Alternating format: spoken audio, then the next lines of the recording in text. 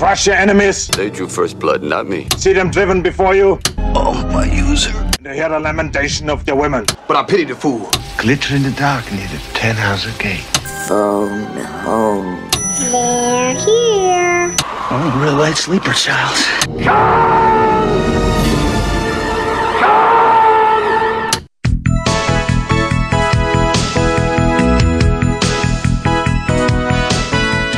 Welcome to Vintage Video, where we're rewatching the 80s so you don't have to. We'll be reviewing every major film release of the 1980s in chronological order, overanalyzing what you've seen and spoiling what you haven't. I'm Patrick O'Reilly, I'm Jesse Bayless. And I'm Richard Wells. and today we're discussing Death Wish 2, or II, released February 19, 1982. It was written by David Engelbach, based on characters by Brian Garfield, with uncredited work from Michael Winner, directed by Winner, and released by Filmways Pictures and Columbia Pictures for different markets. Aye, aye. You make it sound like a pirate film. This one's at sea. No, it's not. That'd be cool though. In 1972, Brian Garfield's novel Death Wish, loosely based on details from his own personal life, was published and quickly optioned for a film adaptation. Garfield was occupied adapting another of his novels to the screen, so the script for Death Wish was written by Wendell Mays, and Garfield was not a fan. In response, he quickly penned a sequel novel entitled Death Sentence, intending to correct the misinterpretation of his character as a hero.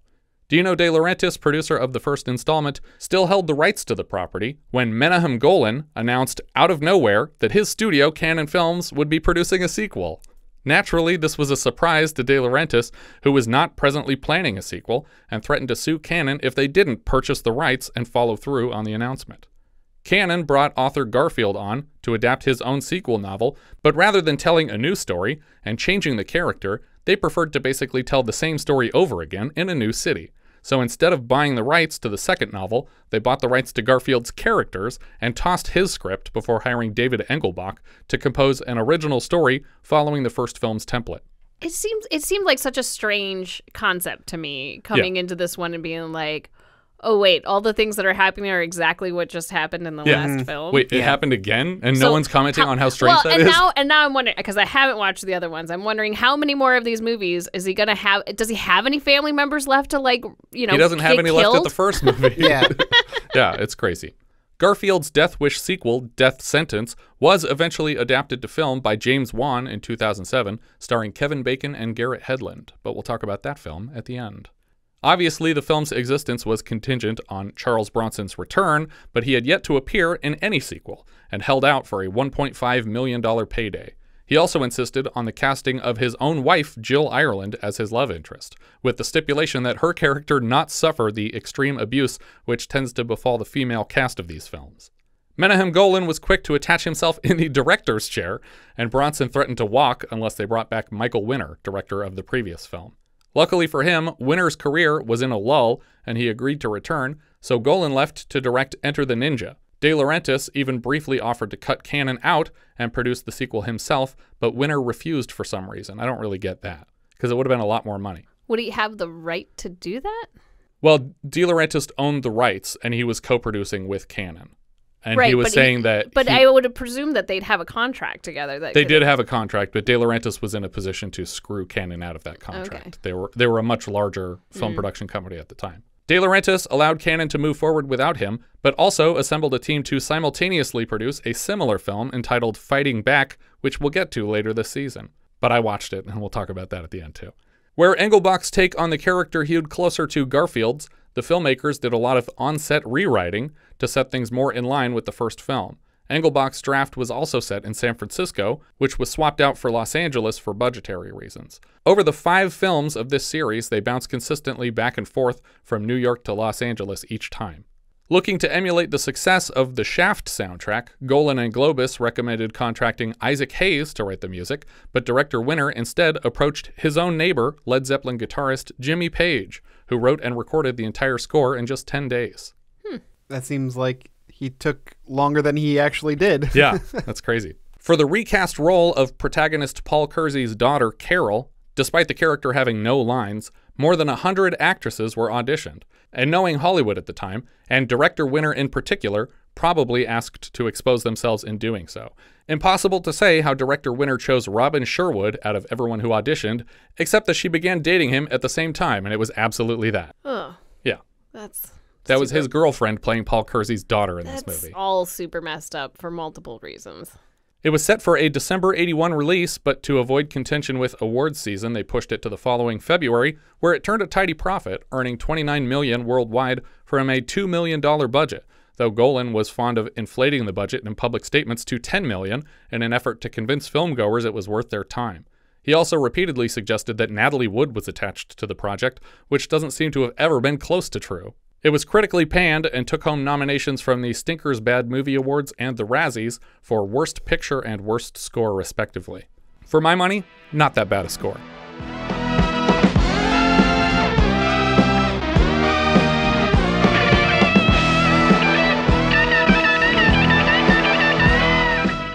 I think the Razzies got it wrong. I, I think Jimmy Page did something interesting here, and it feels like a predecessor to a lot of like jazzy, bluesy It's unusual. police Yeah. I think drama I think it's it, it definitely stands out for the time. Right. Which I but don't if, I think it's been emulated a lot since then. Yeah, I, I agree. Like, I don't think the music itself was bad, but I felt like tonally it didn't necessarily fit all of the parts of the yeah, film. probably that's true.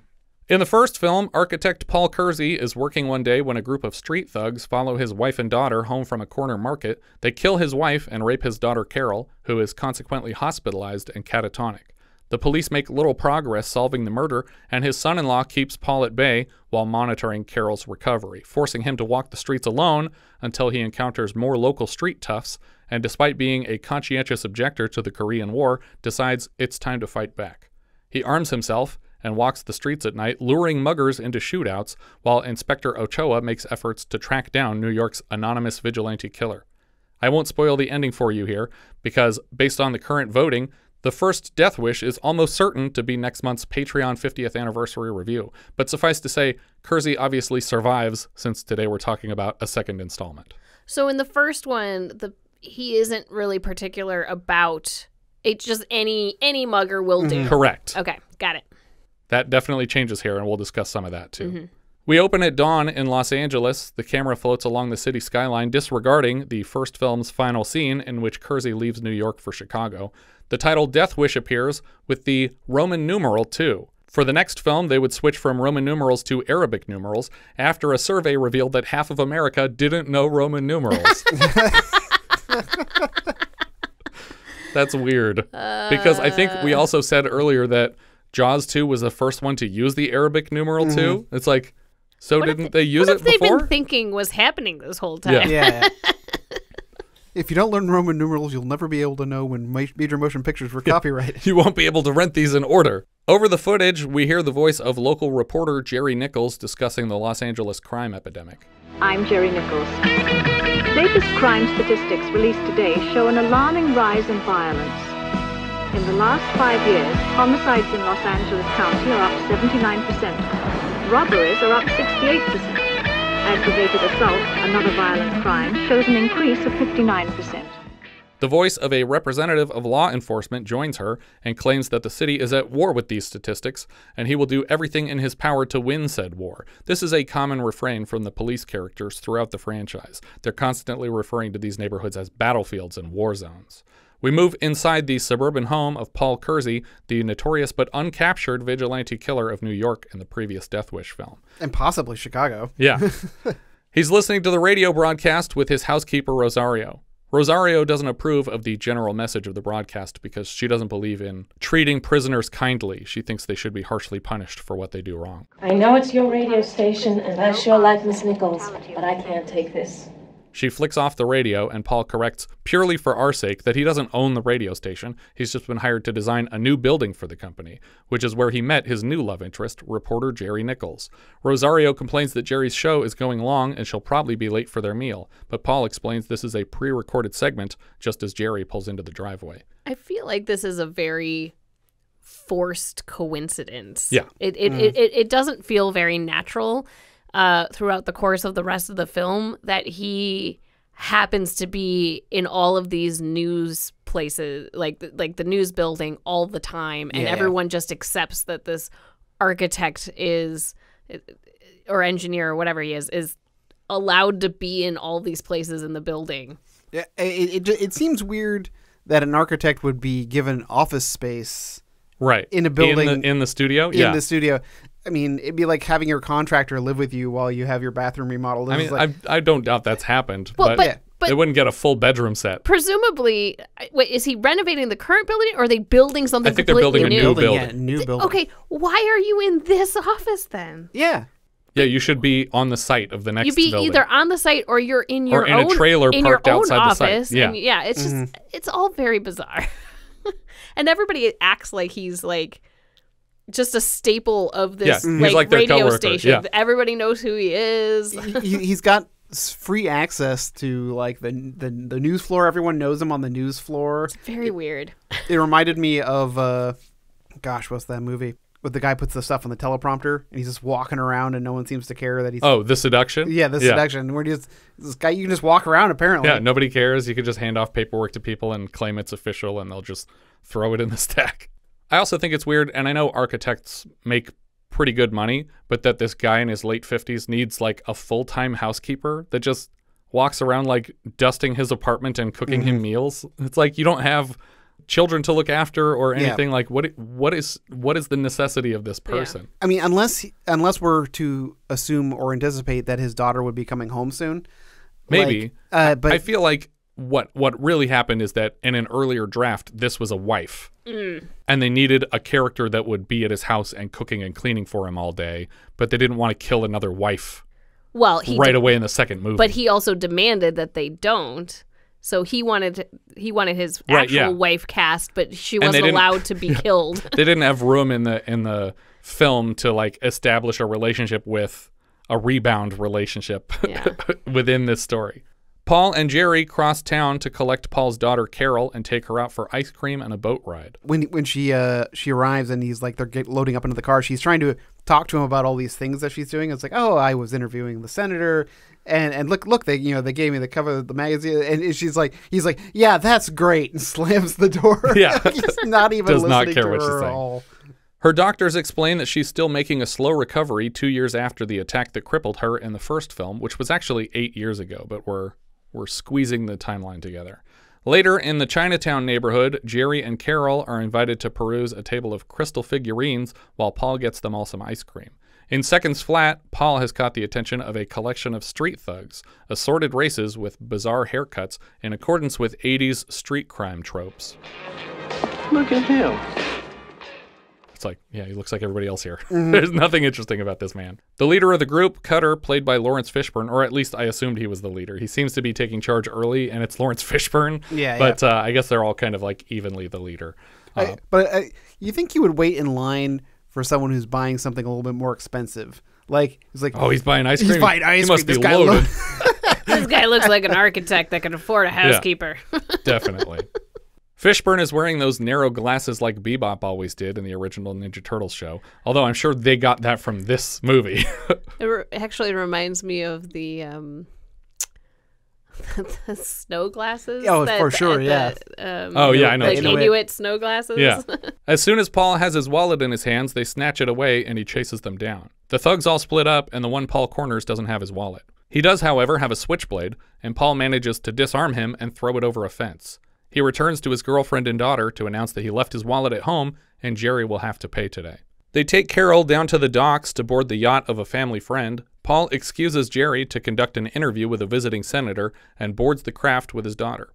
Across town, we see a yellow van pull up outside Kersey's home, and in the passenger seat, we see the thugs have found his address from the ID in his wallet. His ID here indicates that he's 45, but the actor was nearing 60 at the time of filming. Insane that they would bother to track down this man when all he did was toss one of their knives over a fence. like, mm-hmm. just walk around the fence and get your knife. But I guess if he'd done any more, the viewers might be tempted to blame him in part for what's about to happen.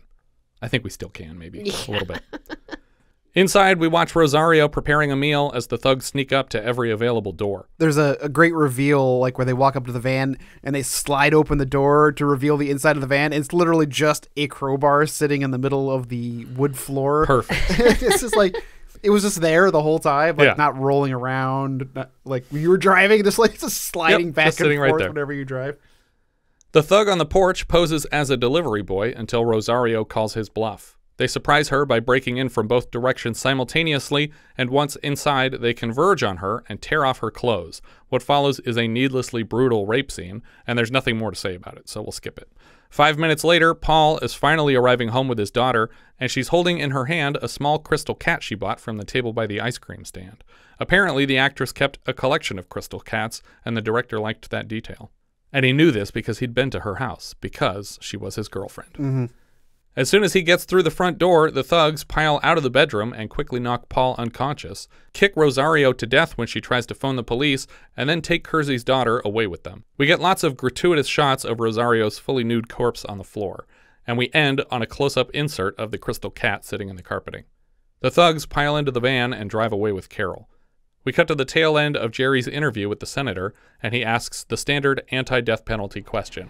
Why do we kill people who kill people? To show that killing is wrong. Thank you, Senator.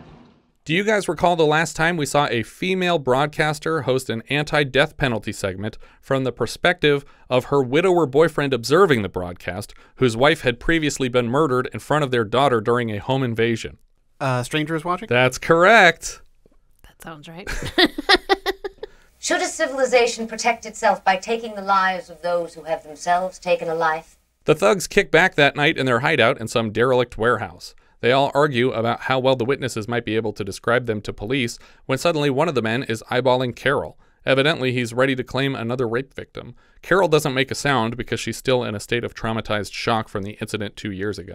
Again, we get a long, drawn out, and generally pointless rape scene, which, frustratingly enough, wasn't even in the script. It was a creation of the director on set, and he advised the actors playing the thugs to improvise a lot of it. The director who's Whose girlfriend her. this was. Yes. What? Mm-hmm. Ah, so fucked up, man. Several worthless minutes of screen time later, Carol suddenly turns to get on her feet and runs full speed across the room, leaping through a glass window, and falls several stories down to impale herself through the chest on a spiked fence below. Ugh. Engelbach's script called for her to do this before anyone was able to abuse her again, but the director saw an opportunity to put more boobs in the movie and didn't care how fucked up that was. But Engelbach's script literally didn't have a rape scene in it. Right, but I, and I feel like there's a point to that that Right. she's lived through this trauma. We don't have she to do this to the character rather- twice. She would rather jump through a plate glass window and possibly die than face this trauma again, Right. which I think makes more sense than what she does here, which is to sort of traumatically lie lifelessly while this happens to her. I, I think it actually gives the character so much agency to show that she Yeah. had the strength to do this Yeah. instead of endure this travesty a second time. And then they just threw it out the window because they were like, people want to see boobs. No, so like it's but but but not. this is so hard I- to watch. Yeah, it's in the first movie, I think the directing is be- it's the same director, but I think the directing is better to make you disgusted by what's happening. Here, I really think that he was doing it to put. He thought that people would be aroused watching this. Like I think that's it seems fetishized. Th- that that that's that was my problem with both of these rape scenes is like this is it's going on so long and it's so graphic that it's almost sensational yeah. and and it just is like it's like it's like skip skip skip skip Yeah. And and screenwriter Engelbach had said publicly that he felt like the director was tr- trying to get his rocks off shooting these scenes this way. It's it's so yeah, it's so hard to watch. Honestly, I think it ruins the movie. Yeah, I, I 100% agree. Sometime later, Geri is pounding at Kersey's door, and the knocking wakes him up, so he answers the door, gripping his aching head. Geri sees Rosario's dead body naked on the ground behind him and nearly vomits. I feel like I would be worried that my boyfriend just killed his housekeeper. yeah mm-hmm. It's weird that there's not even a conversation about it. Yeah. Al- also being unconscious after being struck on the head for apparently like six plus hours Yeah, it's been a long time. that's it's night a now. long time to be unconscious We hard cut to police swarming a crime scene, and Kersey can't provide a useful description of the thugs, despite probably recognizing them from their encounter earlier that day. It already seems like his plan is to take care of them himself. When the cops run his name through their system, they're shocked to learn that this is not the first time that Paul Kersey's family has been attacked by a random street gang. I feel like I would be suspicious of him at this point. Yeah. Right. Some muggers followed my wife and daughter home from the market. The police there got a very good description of the muggers, too. But it didn't do any good. We do what we can. Geri invites Paul back to her place to get some sleep when the police get word about Carol. We cut right to the morgue where he's being asked to identify her body. Is this your daughter, Mr. Kersey? Mr. Kersey, is that Carol? I get it. Like she thinks that you should, you wouldn't want to be in this house. Yeah. But if they're gonna call about a ransom for your Someone daughter, needs to be here, there- and someone he should to be by the phone. Yeah, they're gonna call for you. We cut to him at Geri's apartment later that night, but he still won't sleep despite her pleading. Kersey's boss catches up with him at Carol's funeral and reminds him that the work he has can wait, but Kersey seems eager for the distraction. I feel like it's not even necessary to say this. It's like, hey, I know your daughter died. Guess what? I'm going to give you a couple extra days to turn in that building design. It's like, uh, fuck you. I'll turn it in when I feel like it. You didn't have to give me an extension. We also learn that his boss has a cabin and he offers it up to Kersey as a place to stay while things get straightened up at home. But he only stays here for like the weekend. It's Mhm. a weirdly pointless detail. Yeah. I, I- what I thought was what it was going to be was a montage of him doing like Booby trapping a house. that would have been cool. Yeah. Um, but more more so doing like different outdoor things to strength train. Oh, Because he's probably out of practice, and so I thought you know chopping wood and and going on hikes like the, doing some stuff to build up some stamina. Haven't again. murdered some people in a while. Exactly. Got to get back in murder shape. Perfect. It's a serene place out in the wilderness, and we see Kersey chopping firewood beside a small stream. The chopping gets angrier and more aggressive as he goes, but a lot of the wood is just falling in the river. Kersey takes the small crystal cat that the police returned to him and sets it on a table in front of a family photo. We cut back to Kersey's job where he's turning in his architecture assignment and sharing all the prices for the various exterior options of the building that Kersey's assistant prepared for him. Like he didn't do any of this work. He's he's like I have people skills. I'm Yeah. good at dealing with people. What the hell is wrong with you people? He just I take the plans from my assistant and I give them to the building buyer. Geri follows his voice into her boss's office and asks if he's up for dinner tonight, but he's still healing from his daughter's passing and doesn't think he'd make good company. Later in the day, the police stop by again, hoping to collect more useful descriptions of the men who broke into his home, but he's no more cooperative this time. That night, he heads to his local fried chicken place, Pioneer Chicken, and catches angry glares from a load of punks waiting outside. Walking away, he sees people breaking into cars and just shakes his head in disappointment. He takes two bags into a public restroom to change into his all black vigilante uniform.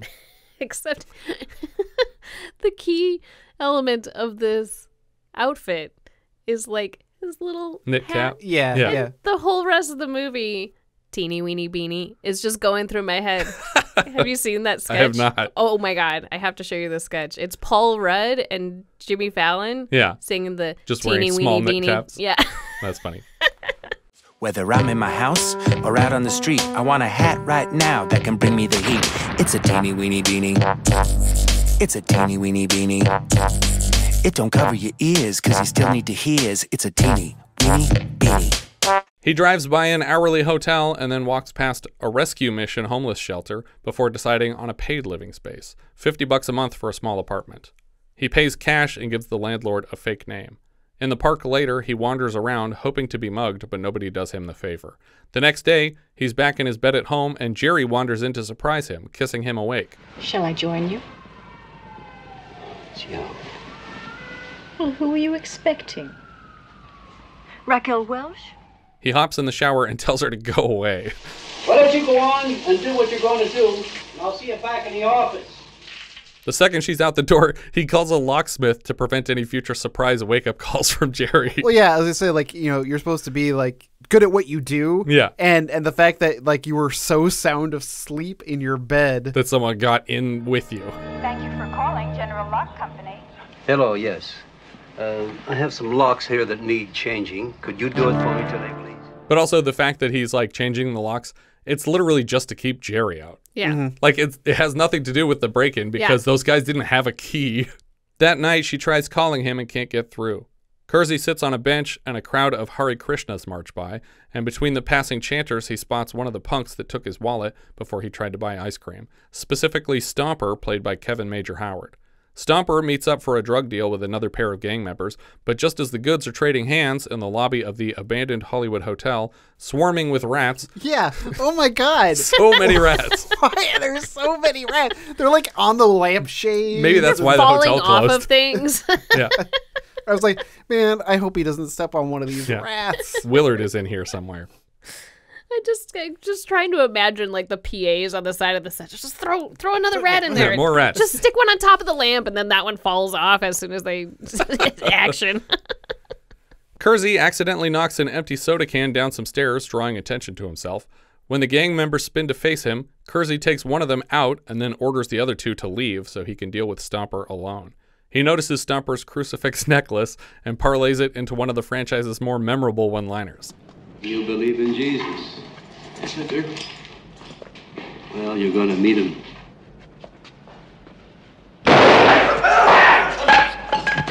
He shoots the man again on the floor and walks out. I, I thought there would be some questions. Right, yeah. Like, like Where are the rest of the guys? Who else did this? What did you do to my daughter?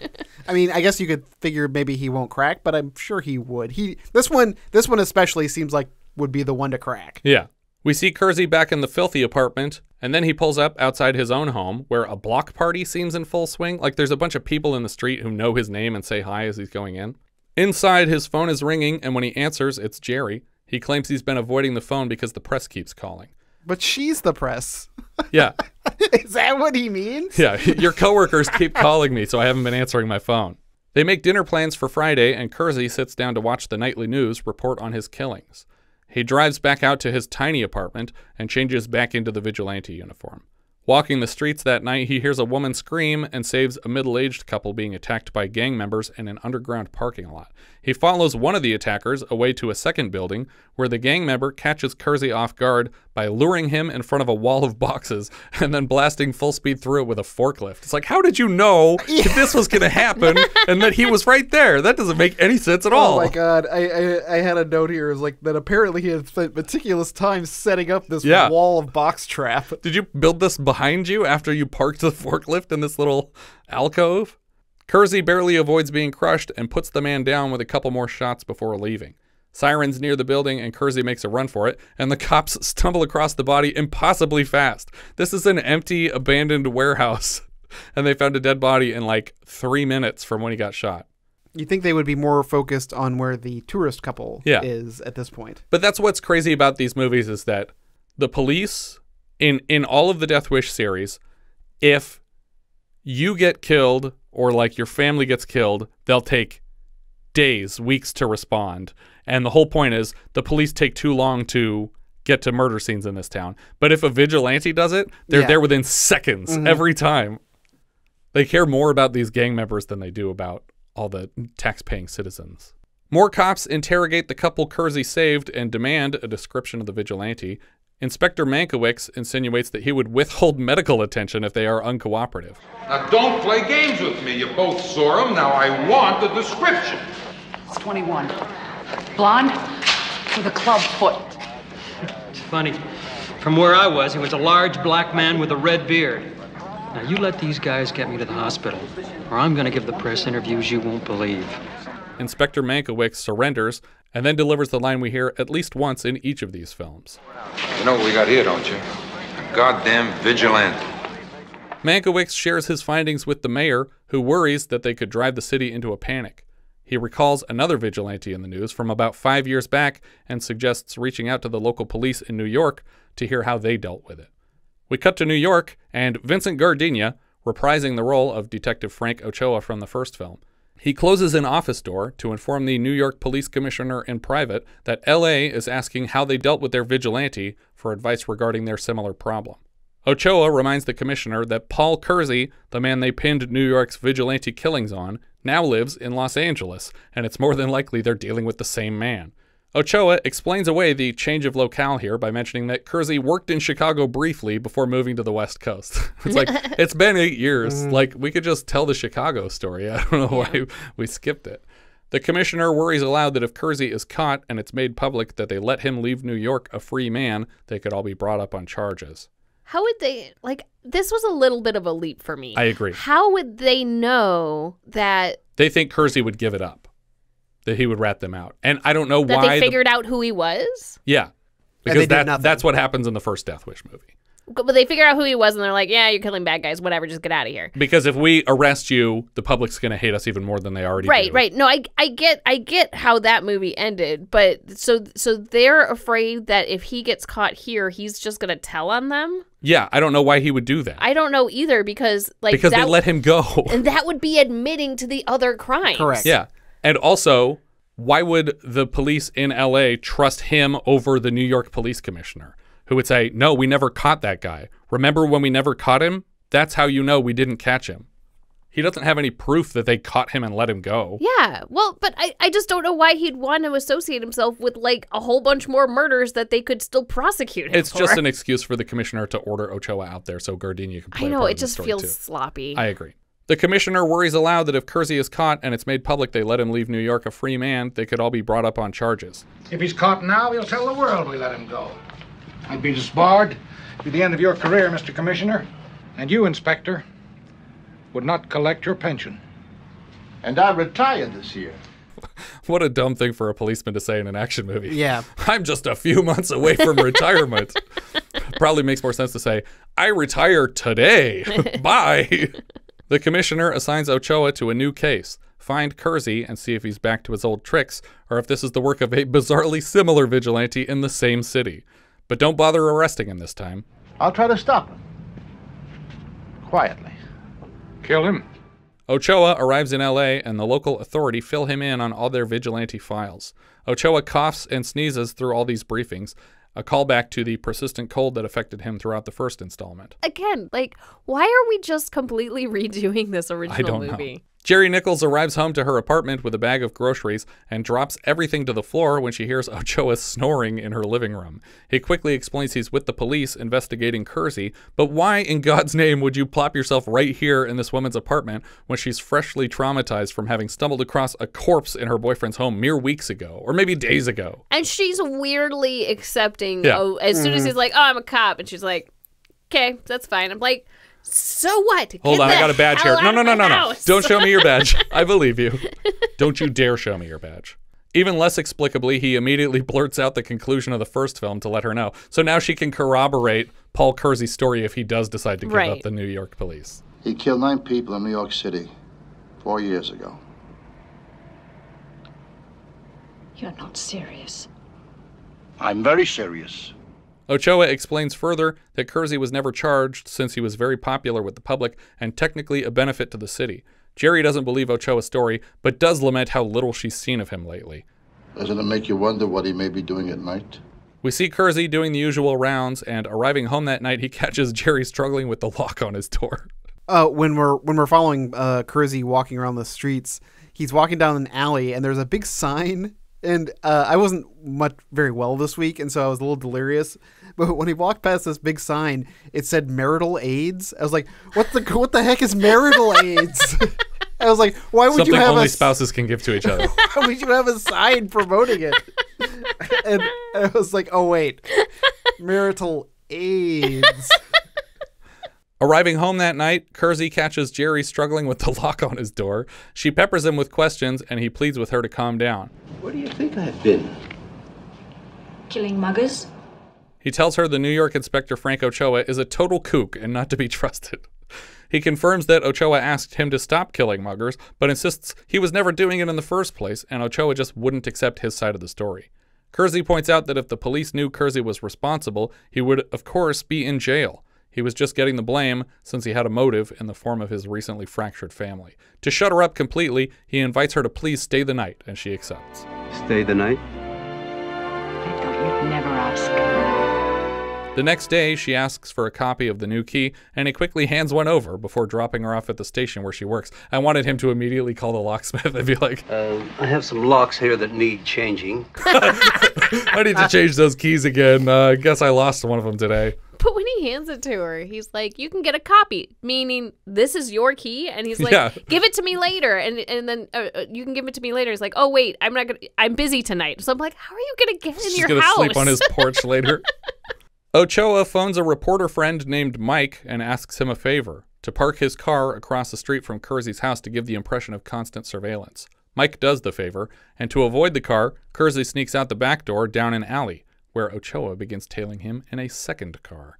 After he parks to follow Kersey on foot, Kersey boards a cross-town bus, and Ochoa leaps into traffic to commandeer a vehicle. The lady, She's so excited. yeah, Yeah. she's like, oh, Yeah. The second he says he's a cop, like everyone in this town just believes you instantly, and they're super excited about it.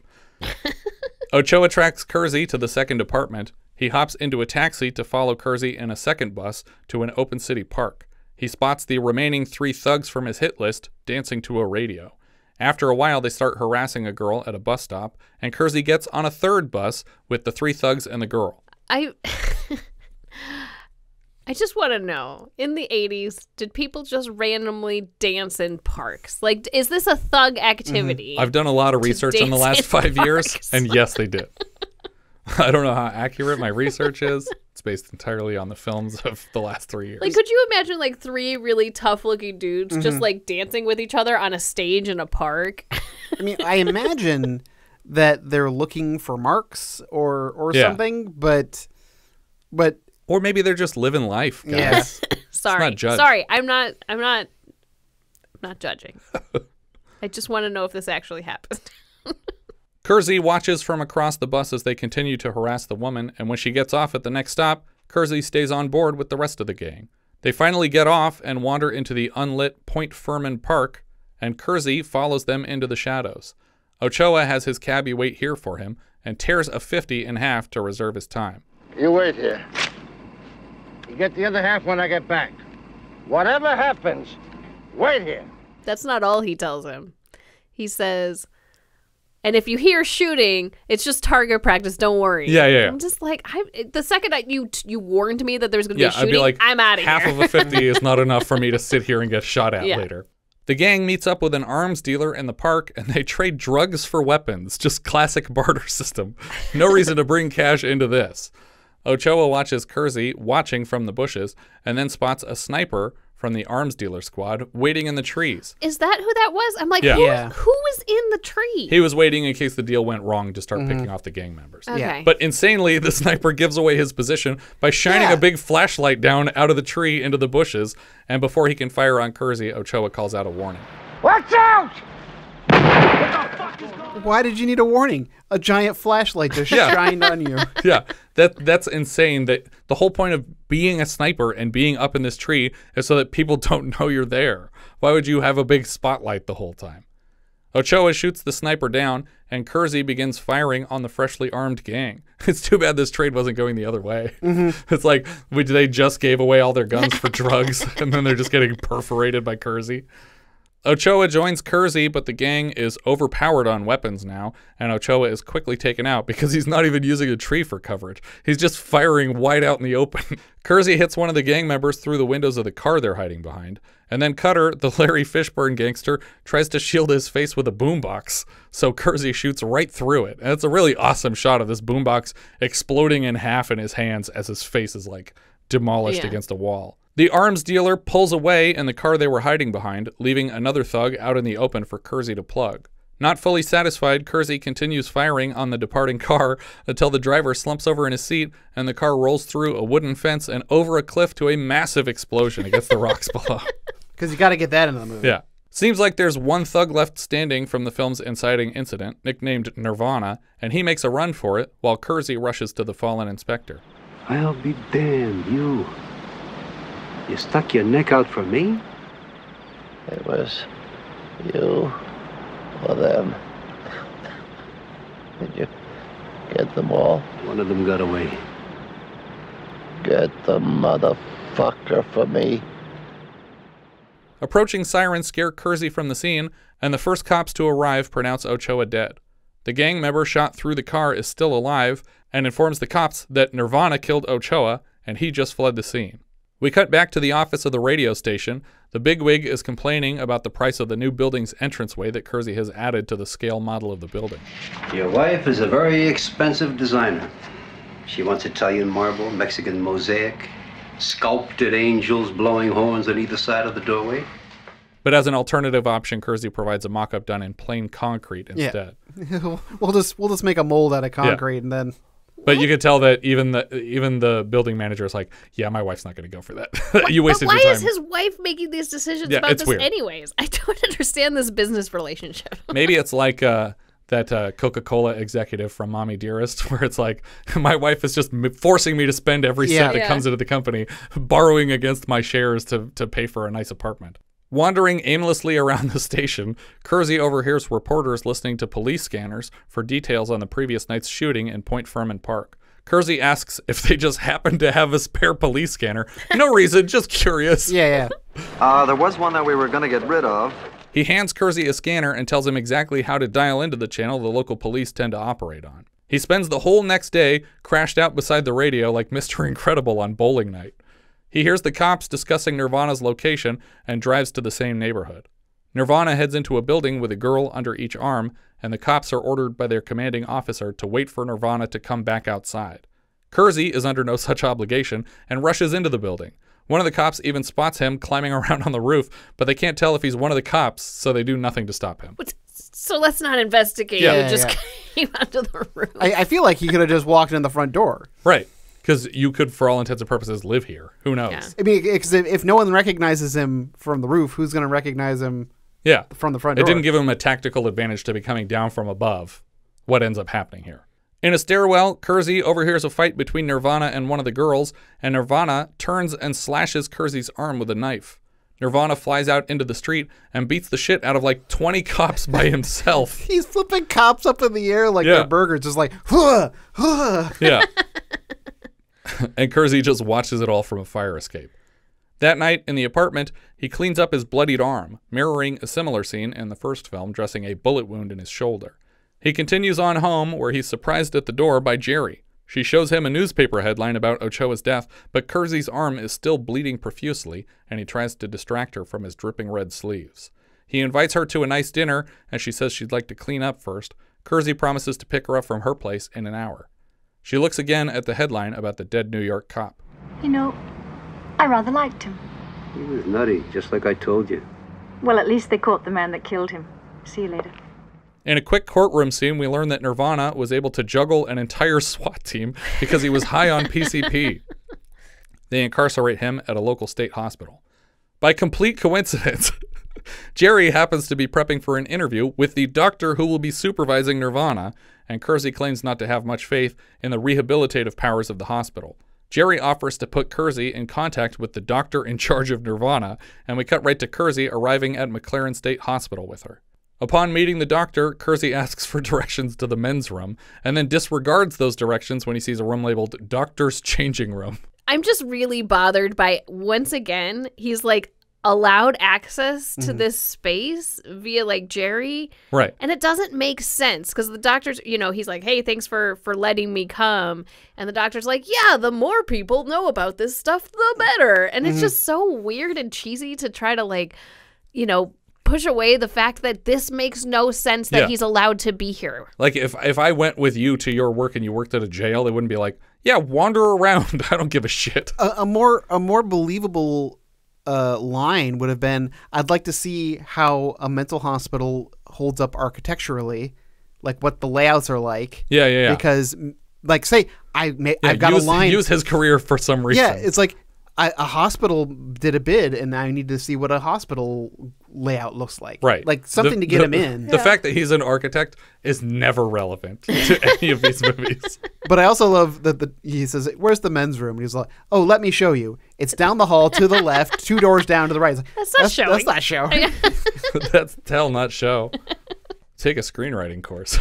And then doesn't he like correct himself? He's like, "On the Yeah. left, Right, yeah. no, right." And Mhm. I'm like, what, Just what so is that the when, point of this? The point of that is so that we remember he corrected himself and said the right, so that w- when we see Kersey going to the left, we know, oh, he's not following the directions that guy Oh. gave him. because I think I think from the doctor's perspective, it was it's left to the doctor's restroom, Hmm. and so doctors what- are inverted from people. Yeah. It's part of the ceremony. After they do the sword on either shoulder. Yeah. I don't know what a doctor is. that that's why the prescriptions you can't read them because they're Yeah. using their non-dominant hand. They use Sanskrit. They write you a Sanskrit. he finds an unattended lab coat with a doctor's badge, and at home later we see him whiting out all the identifying details and photocopying a blank counterfeit badge. Sometime later, Kersey is out for lunch with Geri when a bottle of Dom Perignon shows up at the table and she tries to guess the occasion. Can't be my birthday. That was last month. And you forgot. But that's all right.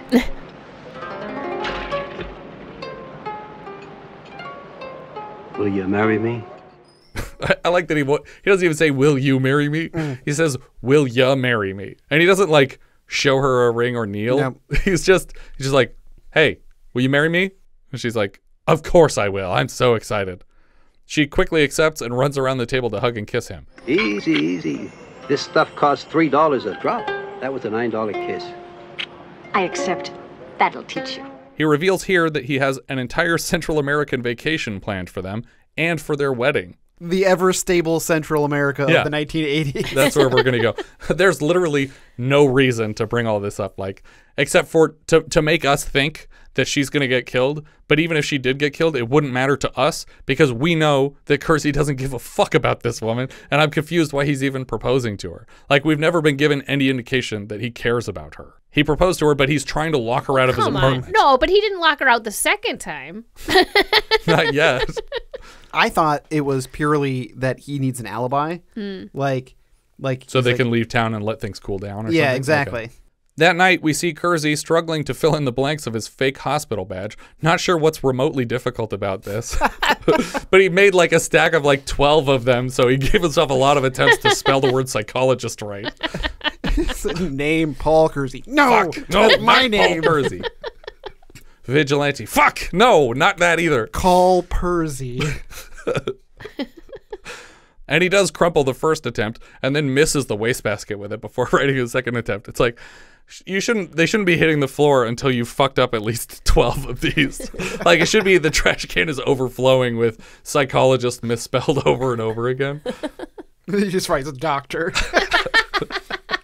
Brain doctor. He attaches the finished badge to his stolen lab coat and returns to the hospital without Geri this time. The whole point of going with Geri a bunch of times is to develop a familiarity with the staff. Yeah. And now he's going in disguise as a doctor. I've been a doctor here the whole time. That's why I look so familiar. No, you're Paul Kersey. You came in here with your girlfriend like 12 times over the last month. Also, the doctor's name is embroidered on that lab coat. Yeah. It doesn't match Yeah, you or I know badge. Dr. Carter, and you're not him. He asks a nurse where to find Charles Wilson, aka Nirvana. Kersey comes to a gate in a hallway and bangs on the door to rouse a guard. He introduces himself as a court appointed therapist and asks to be pointed to Charlie Wilson's room. The man is hesitant to let him in without an appointment, but Kersey insists, and the guy opens the gate. On the way to Wilson's cell, the guard complains that they aren't allowed to shock inmates anymore because of the encroachment of woke shrinks. It's all done with kindness now. Isn't that right, Doctor? Therapy. Call it what you like. Okay, whatever. The guard talks Wilson out into the hall, and Kersey does his best to look away from the prisoner until they're alone together to avoid spoiling the surprise. When Kersey finally pulls a gun, he waits too long to shoot, and Nirvana flips a table at him to knock it away. We cut to a TV broadcast with original footage of Henny Youngman doing stand up on a TV, and the guard is distracted by this comedy from the sounds of a struggle in the cell. I said to my wife, where do you want to go for your anniversary? She says, I want to go somewhere I've never been before. I said, try the kitchen. Kersey and Nirvana punch each other back and forth for a while, and eventually, Nirvana slips a shiv out of his shoe, which he probably would have used to escape this place soon if Kersey hadn't interrupted. It's a scalpel. Yeah. I, th- I That's feel true, like yeah. Shiv, Shiv sounds like like he Made. made A very up. fancy shiv. It's A f- a- one of those pretty made shivs that they use manufactured for shiv. surgery. for shiv doctors. he stabs Kersey repeatedly in the shoulder, but then drops the weapon and Kersey picks it up. Nirvana throws Kersey backward again against a big wall of electric panels, and when Kersey dodges a fist, Nirvana punches straight through a small glass window into one of the electrical panels, so Kersey flips the master power switch on and electrocutes the prisoner slash patient, just like the guard suggested. And it, it's some it's some high voltage because you you can hear the hum. Yeah, and you I can mean, see his hair f- floating Yeah. up. Kersey has won Charlie Wilson's war. Nirvana's hair sticks up from the charge, and the noise of the device finally summons the guard back into the room. He puts together exactly what happened here pretty quickly, and Kersey doesn't bother faking an excuse in his fictional therapist character, like, oh, he attacked me because you let him bring a Yeah. fucking scalpel in here. He raped and killed my daughter. I read about it. Sympathetic to Kersey's cause, the guard offers him three minutes to get the fuck out before he phones in the incident, which is what happens at the end of nearly every Death Wish movie. It's always like, oh, he's dead to rights now, and the person's like, get the fuck out of here. Kersey retrieves his gun and toddles adorably down the hall back to freedom. He's like, He's like, you didn't get man. You, you didn't get wounded in the legs. Yeah. He's walking through a hospital just bleeding profusely from the chest. And everyone's like, see you, doctor. Oh, doctor, you need to sign out. Sure, just. Ugh, he just passes out against the counter. On the road again, Kersey keeps hitting obstacles that slow him down. A bunch of people in a crosswalk, some kind of a road blockage. He drives past a marquee advertising a film we've covered. Did you catch it? oh, I didn't. What do you think I'm Okay. referring to here? I think it's. I think this is the second one. Okay. So I I saw two. I well technically I saw three movies. Okay. there. I, I think I missed the first couple then. Um, I think it's Excalibur. yes, this one is Excalibur. Okay. Then previously, while he's wandering around the city, um, he's standing in front of a double feature. Oh, okay. And what's that? It is um, I always forget which one's which. It's any which way but loose and any which way you can. Oh, okay. Yeah. Yeah, there's there's a lot of pot shots at Clint Eastwood and the Dirty Harry series Mm. across this whole franchise. Meanwhile, back at his home, Geri arrives having given up waiting for Kersey to come pick her up. She lets herself in and turns up the news radio station to learn that the prisoner who killed Ochoa has been murdered within McLaren State Hospital. Simultaneously, she notices the crumpled paper ball beside the wastebasket and unrolls it to find the first failed attempt at a counterfeit hospital badge. She realizes instantly that Ochoa was telling the truth and she can't stay with Kersey. She removes her engagement ring and leaves it on the crumpled badge at Kersey's desk before driving away. Naturally, he arrives seconds later, and without seeing him find the ring, we hard cut to the Hollywood sign the next morning. Kersey attends a party for the radio station's unveiling of the completed building plan, and we learn in conversation that Geri has transferred to work in another town. Kersey is invited to another new building party, since apparently that's not what this is. he accepts the invite. I'll be there. Are you sure you're free? What else would I be doing? Which is a lighthearted way of reminding his boss that his entire family was brutally murdered and his girlfriend just moved out of the state. Oh. It's like, yeah, this is my job, and everyone else I know fucking hates me or is dead. we cut back outside where Kersey's shadow stalks the streets, and a few gunshots ring out before credits roll over the city at night. The end. Worth mentioning some changes to the character from even the first film. In Death Wish 1, Kersey's family are attacked, raped, and killed, but we never actually see those thugs again. The rest of the film is spent catching and killing uninvolved criminals, where here he seems to mostly limit himself to the exact five guys that he clashed with on the day of the new attack. Although he does take a few people out Mhm. extra on the way. As quickly as the third film, we'll see him killing people for breaking into cars and once for stealing a camera. His trigger finger gets itchier and itchier as we go. FYI, I'm about to spoil the whole rest of the series. Not that there's much to spoil here in case you care. Maybe skip ahead a few minutes if, if you're just about to sit down to them. Death Wish 3. In the third film, Kersey returns to New York to visit an old friend who is, of course, brutally murdered seconds before Kersey arrives. And so he like gets there in time to hear the guy's last words, which are like, "Take care of all my shit." I guess he doesn't really have an important message. I feel like at some point you'd be like, wait, your your wife was killed, your daughter was killed, your friend was killed. Yeah. I'm starting to suspect this guy's doing this all. I love that them stepping it up. They were like, well, first his wife was killed, then his daughter was killed. Now, an old friend who Yeah, he checks in on every once in a while died. We got to keep uh, escalating the story. My my local postman was killed. Did you know him? No, he wasn't for my route, but he was very close. He's the next street over. Yeah. In this third installment, Kersey's vigilantism is confined to a small neighborhood of tenement housing, and he no longer conducts his work in secret. He befriends and protects all the elder residents, home aloneing their apartments to injure or kill the incessant intruders. Okay, that that actually sounds kind of Yeah. Over the course of the story, Kersey becomes romantically involved with his public defender, played by Deborah Raffin, and you'll never guess what happens to her. Oh God. This time, the police chief, played by Ed Lauter, covertly approves of Kersey's actions and only asks to be kept aware of what he's doing. Death Wish 4. And I think the subtitle for Death Wish 4 is The Crackdown.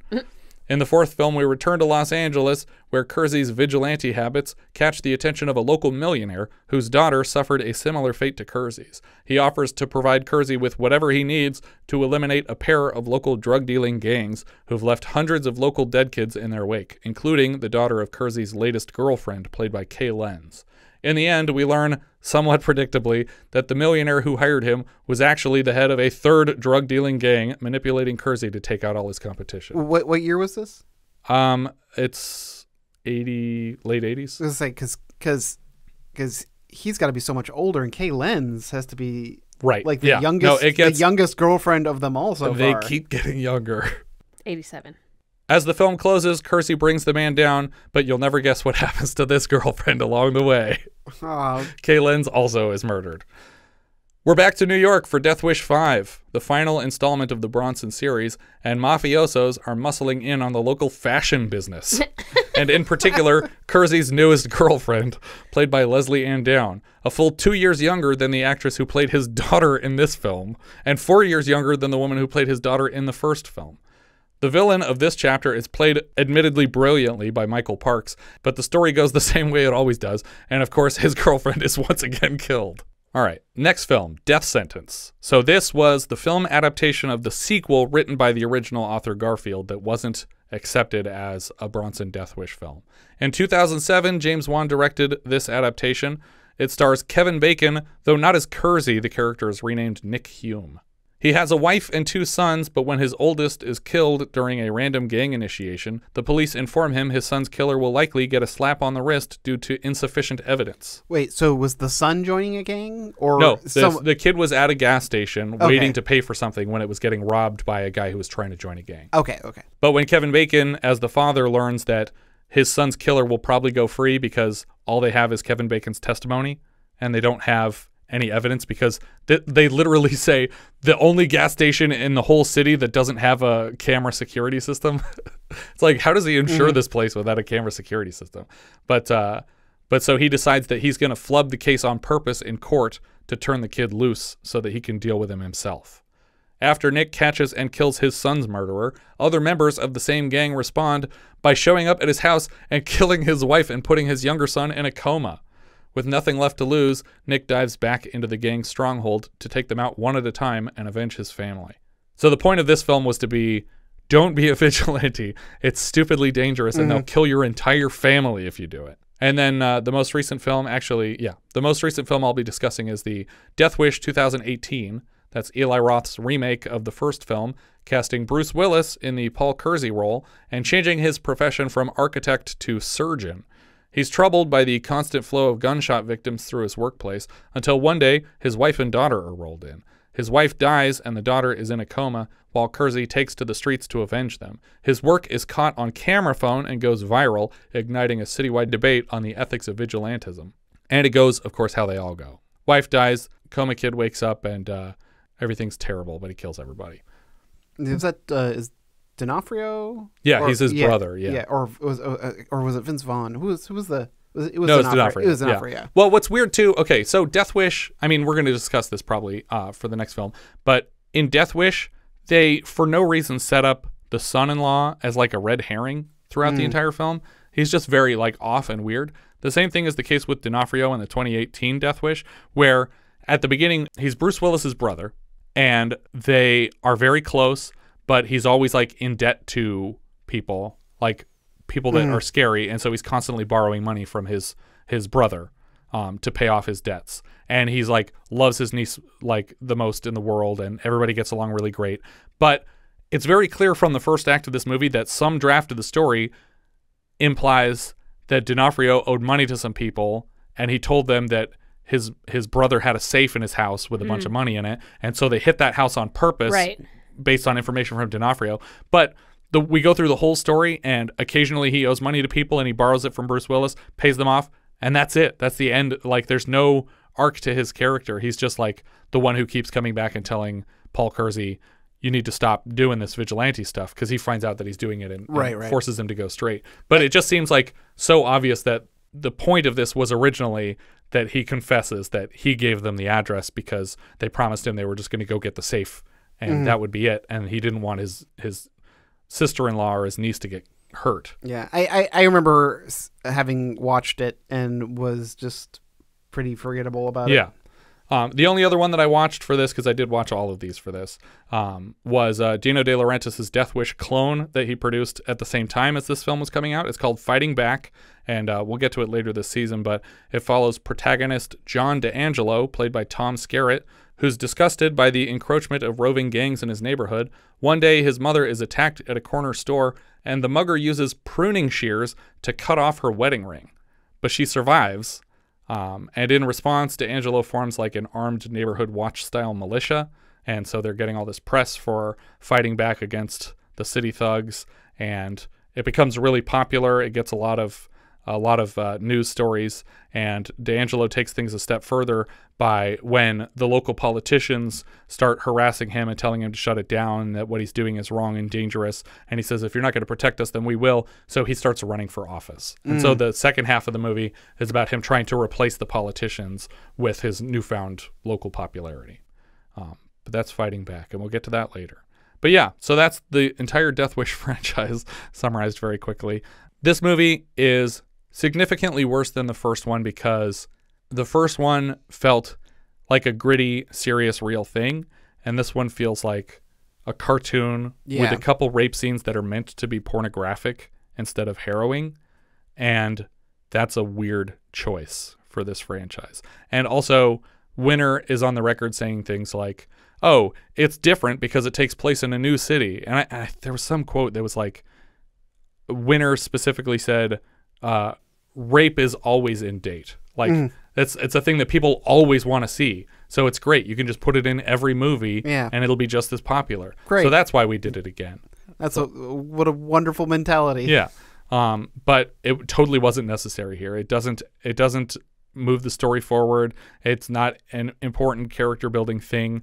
And it seems like they just wanted to have the exact same scene where mom is killed, daughter is raped, and and Kersey is mad, but they instead made the wife like an an un a woman that's not actually connected to him romantically so that he can have this relationship on the side. Mhm. Right.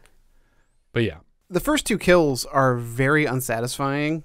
Like on top of that, the, Right. it's just like The you- Jesus one? Yeah, it's like it's like okay, it's a great line, but then you just shoot him and you walk away. It's like, Yeah. well, no, these these guys did something really terrible, and they need to die and are really because even the the Bruce Willis one, I feel like some of the deaths in that one were a little bit more Oh my god, yeah. vengeful. Yeah, there's some really fun stuff in there because it's Eli Roth. he, so like gonna drop a do- car on somebody or like one of the guys gets a car dropped on him. There's Yeah. another guy who, um, because at the end they're like breaking into his home and he's having to kill them all within his home while his daughter is hiding in like a crawl space under the stairs. And one guy gets shoved over the railings from the top and lands right on the top of his head on the on the floor, like. Mhm. Straight down at the bottom of the spiral staircase, and you see his whole head Oh, like God. cave in when he hits the ground. It looks awesome. Yeah.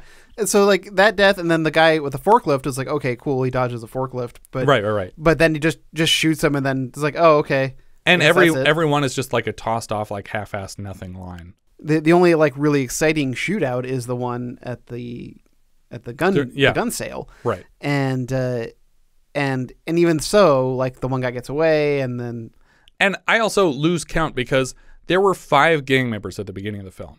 yeah, And the, and he's following three of them this whole night, and he gets to this shootout where Ochoa kills the sniper, Kersey shoots one guy in the gut, and then he hits.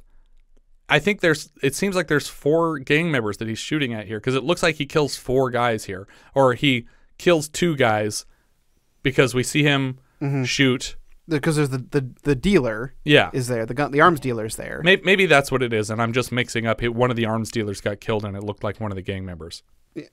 Yeah, I think two gang members get shot here, and one gets away. Yeah, and and one of the two that gets shot here gets taken to a hospital and dies later.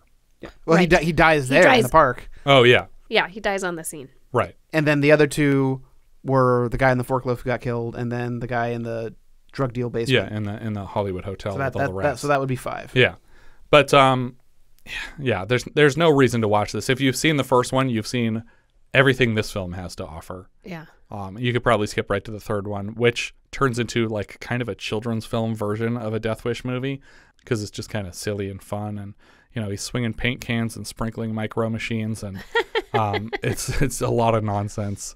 Um, and they get cornier and cornier as you go. The last one is so like polished and silly. Um, yeah, and plus he has to be almost seventy. Right. Yeah. No, it's very strange. Yeah. So that's Death Wish, and all the Death Wishes. Um, I'll probably have to go over a lot of this again in a few more weeks when we get to our review of Death Wish One. Is this the first time we reviewed a sequel before the original? Uh, oh well, we've reviewed sequels without seeing originals before for sure. Yeah, I'm just trying to remember a time where we ended up going back and covering something Mm. earlier in the franchise. Maybe we did that for James Bond or something. What are we thinking? Thumbs up, thumbs down? It's a big thumbs down for me. Oh, it's a thumbs down. Yeah, down. for sure, thumbs down. Um, what are we thinking? Letterboxd. Uh, so I have it pretty low because I never want to see this movie again. Uh, I have it at 23 out of 25. I have it below McVicar and above Love and Money. Richard. Uh, bottom of the list. Really? It's, it's, it's number twenty-five. All right. Uh, bel- which puts it below Madman. I'd rather watch Madman. All right, then I guess I loved this movie. Um, I have it in 17th, so it's under the seduction but above the amateur. I didn't love this movie. the director, writer, and editor was Michael Winner. He previously directed The Mechanic, the Zodiac inspired Scorpio, and the first Death Wish film. He also directed Robert Mitchum's first Marlowe film, The Big Sleep, and he returns to the Death Wish series for the third installment. David Engelbach, this was his first screenplay credit. Later, he writes and directs America 3000. He writes Stallone's arm wrestling road movie Over the Top, and his final credit was on MacGyver episode Gold Rush, for which I had the opportunity to interview him for our previous podcast, The Phoenix Foundation. The conversation didn't touch much on this film, but we do go over America 3000 and Over the Top a bit. The writer here was Brian Garfield, a character credit for writers because obviously this was not his story. He has character credits on all the subsequent Death Wish sequels and remakes, and he also wrote the novels adapted into Walter Matthau's spy story Hopscotch and the Stepfather series. The music here came from Jimmy Page. He's best known as the guitarist and founder of rock band Led Zeppelin. This is his first film composer credit, and he returns to score the third film. He also has a soundtrack credit on 98's Godzilla film because Puff Daddy's theme for the film, Come With Me, sampled heavily from Led Zeppelin's Kashmir. Cinematographer here was Thomas Del Ruth. Previously on the show, he lit Motel Hell and Underground Aces. After this, he lights Breakfast Club, Stand By Me, The Running Man, Look Who's Talking, and Talking Too, and later 107 episodes of The West Wing. The other cinematographer, Richard H. Kline, he also lit Camelot, The Boston Strangler, Andromeda Strain, The Mechanic, Soylent Green, Battle for the Planet of the Apes, The Fury, and so far in our 80s titles, Touched by Love, The Competition, and Body Heat. He still has Love Spell coming later this season, and beyond that, he lights Breathless, All of Me, The Man with One Red Shoe, Howard the Duck, My Stepmother is an Alien, and Double Impact. Editor credit here for Julian Semilian. This is their first editor credit, and later he cuts Scanner Cop. Charles Bronson played Paul Kersey. He has unnamed credits back to the early 50s. He played the titular Machine Gun Kelly in the 58 film. He was Bernardo O'Reilly in the Magnificent Seven, Danny the Tunnel King in The Great Escape, and Wladislav in The Dirty Dozen. We've seen him now in The Mechanic, Cabo Blanco, Borderline, and Death Hunt, and he's also in two of our current Patreon poll contenders the first Death Wish and Mr. Majestyk, which both hit theaters in July of 74. After this, Bronson does three more Death Wish films, and then 10 to Midnight and The Evil That Men Do. Jill Ireland played Geri Nichols. She met actor David McCallum on the set of Hell Drivers in 1957 and appeared with him on several episodes of The Man from Uncle. Later, he brought her to the set of The Great Escape and introduced her to co star Charles Bronson, and five years later, she had divorced McCallum and married Bronson. They would appear in 13 films together, including one we've covered on the show, The Mechanic, and although she doesn't appear in any further Death Wish films, she does show up with him in The Evil That Men Do, Murphy's Law, and Assassination. I think last time she was like a prostitute that he goes to and she writes poetry for him or something like that. Oh, in the, In the mechanic? mechanic, yeah, that sounds familiar. Vincent Gardenia was Detective Frank Ochoa. He's a bartender in The Hustler. He's Coach Williams in Where's Papa. We saw him previously as the mayor in Cold Turkey. He obviously plays this same character in the previous Death Wish film, and we've seen him in the 80s now for Home Movies and Last Flight of Noah's Ark. Later, he's Mushnik in Little Shop of Horrors, Cosmo in Moonstruck, and his final credit as Big Lou in The Super. I think that's Danny DeVito's dad. Yeah, yeah, the one who's like giving Leaves him them the building. Or is it Joe Pesci? Oh, yeah, Joe Pesci. Joe Pesci, yeah. yeah. Between the two Death Wish films, he also worked with director Winner on something called Firepower in 79. J.D. Cannon played the New York DA. He plays Society Red in Cool Hand Luke, Danzig in Krakatoa East of Java, and Filchock in Scorpio. We've seen him so far in Raise the Titanic. Anthony Franciosa played Herman Baldwin. He was previously in A Face in the Crowd and The Drowning Pool, and he's back this season in Kiss My Grits. Ben Frank played Inspector Mankiewicz. We've seen him so far in Don't Answer the Phone and Foxes, which both released on the same day in 1980. He also showed up in Falling in Love Again, and he reunites with that film's director for Slapstick of Another Kind a couple seasons from now. Later, he appears in Hollywood Vice Squad, from the makers of Vice Squad, I believe, but unrelated technically. Robin Sherwood played Carol Kersey. We've seen her now in Loose Shoes, Hero at Large, Serial, and Blowout, but this is her last feature credit. Silvana Gallardo played Rosario. We saw her last as Little Feather in Windwalker. Mostly television after this, including an appearance we've already discussed on MacGyver episode Jack of Lies, in which we mentioned that she was also the wife of Billy John Bly Drago of Brisco County Jr. fame. Robert F. Lyons played Fred McKenzie. He reunites with Bronson in 10 to Midnight and Murphy's Law. Michael Prince played Elliot Cass. We've seen him as a civilian in Three Days of the Condor and in the 80s for Hero at Large, Force 5, and Rollover.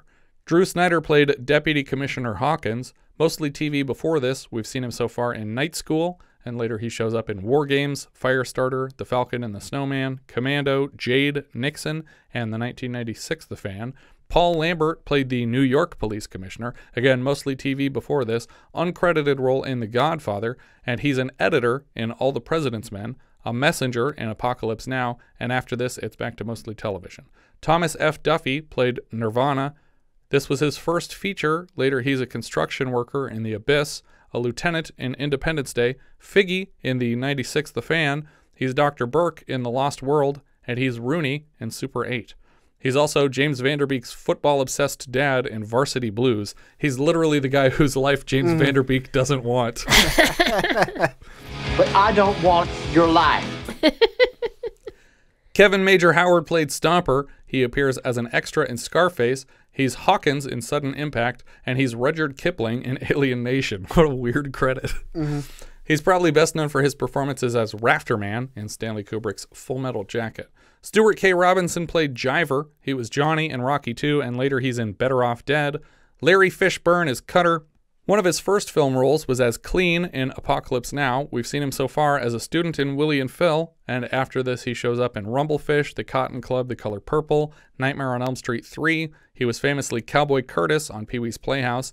He's in Boys in the Hood, What's Love Got to Do with It, Searching for Bobby Fischer, Event Horizon, but he's likely best known for his turn as Morpheus in the Matrix trilogy. Since then, he's been Perry White in the DC universe, Bill Foster, aka Goliath in Ant Man and the Wasp, and he's the Bowery King in the John Wick films. More recently, he was MacGruber's boss in the eight episode Peacock series. That's a really fun Mm. sequel series, actually.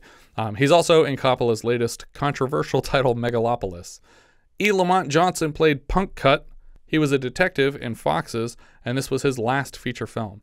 Paul Comi played Senator McLean. Before this, he's a policeman in Conquest of the Planet of the Apes, Tim in The Towering Inferno, and we've seen him so far as Commander Craig in The Killings at Outpost Zeta. That was obviously a minisode. Later, he's Dr. Chapin in Howard the Duck. Frank Campanella played Judge Neil A. Lake. Before this, he's in Capone in 75. He's in Heaven Can Wait. He was never on Pee Wee's Playhouse with Fishburne, but he does play Captain Carl in Overboard. Yeah. There's a Captain Carl character in that. He's also in Beaches, Pretty Woman, and Dick Tracy. Hugh Warden played Minister. He was Earthman in Galaxina and a bank dick in Modern Romance. He's back later this season as a grocer in Honky Tonk Man. Jim Begg played Tourist. He also shows up in The Ghost and Mr. Chicken, and he was a producer on the first Leprechaun movie. Steven Zacharias played Dr. Clark. He shows up in a handful of spaghetti westerns, A Man Called Sledge, Pocket Full of Chestnuts, and They Call Me Trinity.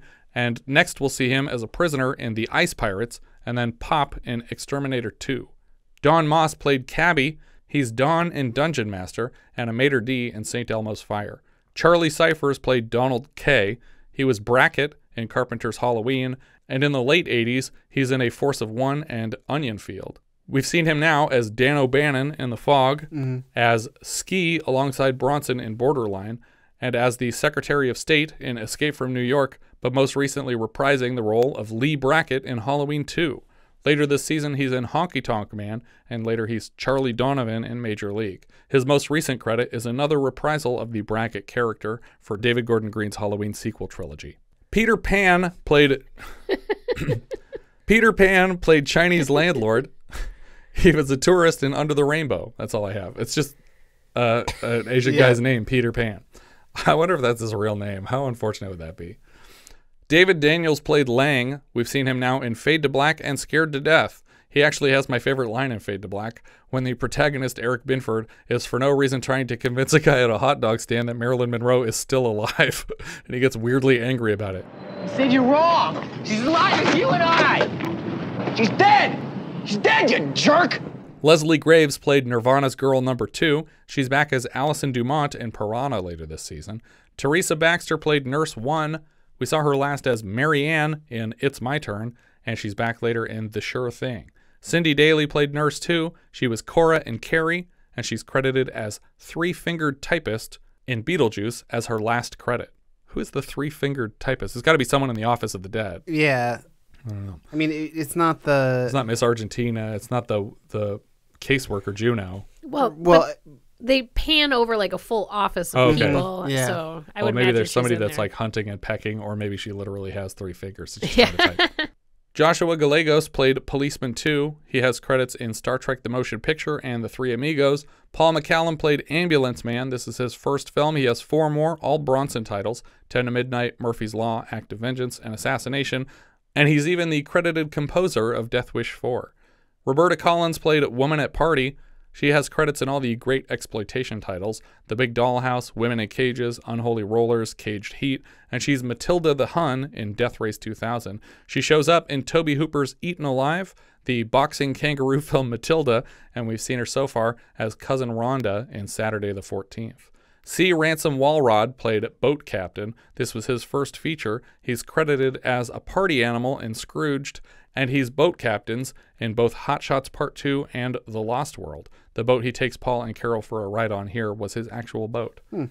Ava Lazar played Girl in TV soap opera.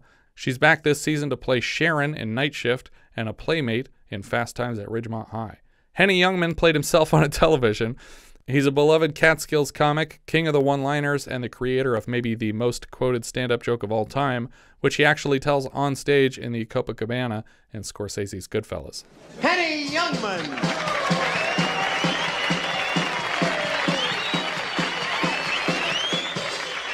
How are you all? I'm glad to be here. Take my wife, please. Oh, I thought it was going to be the How Do You Get to Carnegie Hall. Practice. In a body bag. Is there a story of why Henny Youngman was just filmed? I don't know. It, and it's not like stock footage or something. Yeah, it- it's literally like they put him up against a wall and Yeah. just shot three jokes. Or was this like a Bela Lugosi thing? It's like I got this last Oh clip of God. Henny Youngman. Oh, he's still around. He's still alive. Yeah. Yeah, because he was. A, Henny Youngman was in a episode of Tiny Toon Adventures Yeah. in the nineties. His most recent credit for us was as a writer of the jokes of the Heart Beeps comedian robot Catskill, and we'll hear more of his jokes later this season in the Comeback Trail. He's also Manny the Mesopotamian on the Adam West Batman, and he's in Silent Movie and History of the World Part 1. William Bogart played Fred Brown. Lots of one off TV credits to start. We've seen him now in Last Married Couple in America and Hero at Large, but more recently, I would say he's best known for his part as the host of maybe the funniest sketch in the entirety of The Chappelle Show. How could this have happened? A black white supremacist. Vatsala Das played Hare Krishna. There are also a Hare Krishna in Angel next year, and Pavani Devi Dasi was another Hare Krishna, also a Hare Krishna in Falling Down. Both of them are actual Hare Krishnas that they just used because they were around the set. Do you recall the last time we had a Hare Krishna prominently featured? Oh my gosh. Well, we had some in Airplane, and before that in uh, Midnight Madness, Um, even. Those aren't even the two I was thinking. after after Airplane, I think we had some in Serial too. Um, Or maybe it wasn't Hare Krishna. I'm thinking of the one where the daughter actually like joins the cult. that was in Serial. That's Serial. Yeah. Yeah, yeah. Uh, and that was a cult. I don't think it was technically Hare Okay. Krishna. They were all, All right. wearing like purple cloaks. But don't they like, like approach her with flowers? yeah, they like- do. Yeah, it's okay. very Hare Krishna esque. Yeah. Terry Leonard played the sniper in The Tree. He's a longtime stuntman with credited roles in films we've covered like A Man Called Horse, Mountain Men, Inside Moves, The Legend of the Lone Ranger, and Raiders before this. Michael Lepre played a gang member. We just saw him as a track fan in Personal Best, and he's back right away as the Pizza Man in E.T. the Extraterrestrial. Harvey Mrigendra Mechanic played another Hare Krishna, and he's another Hare Krishna in Falling Down. So a couple Hare Krishnas from Falling Down here because they were just Los Angeles area Right. Hare Krishnas who wandered around film sets a lot. Can you sign this release? yeah. I think that's everything we have for Death Wish 2. If you have any thoughts you'd like to share, you can find all our socials at linktree slash vintage video pod. If you enjoy what we're doing, consider giving us a review on iTunes. I don't think it helps visibility, but it's good for morale. And if you really like the show, maybe you should join our Patreon campaign at patreon.com slash vintage video podcast for access to all our monthly 70s reviews and a hand in choosing next month's film. What's that sound? We got one! That's right, it's a new patron, Glenn Burgess. As a $5 patron of the show, Glenn now has access to 52 full size 70s reviews and a hand in choosing next month's film. Patrons are currently choosing between The Apprenticeship of Duddy Kravitz, Death Wish, The Education of Sonny Carson, Flesh Gordon, Golden Needles, Gone in 60 Seconds, Mr. Majestyk, My Name is Nobody, Savage Sisters, The Tamarind Seed, Uptown Saturday Night, and The White Dawn for a 50th anniversary review next month. Thank you so much for listening, and I hope you'll join us next time when we'll be discussing Over the Edge, which IMDb describes like so. A group of bored teenagers rebel against authority in the community of New Granada after the death of one of their own.